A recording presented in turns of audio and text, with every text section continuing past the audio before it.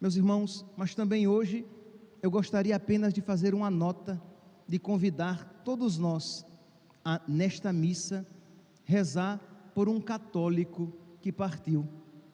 Um grande, se não um dos maiores pensadores do nosso país, Olavo de Carvalho, católico, escritor, filósofo, que faleceu e que, de alguma maneira, meus santos, é, é um exemplo para nós porque ele influenciou toda uma geração de pessoas que buscam, pela sua busca da verdade, pela sua busca da liberdade, pela sua filosofia, o quanto ele influenciou muitas pessoas.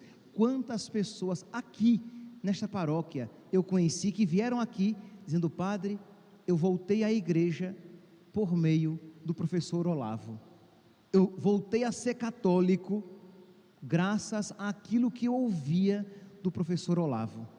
Então peçamos a Deus que tenha misericórdia dele, que o acolha nas moradas eternas. Peçamos a Deus que, que dê o descanso eterno a esse valente homem que, com as suas limitações, procurou na sua vida agradar a Deus. Recordemos-nos então dele na Santa Missa que estamos celebrando. Louvado seja nosso Senhor Jesus Cristo, para sempre seja louvado.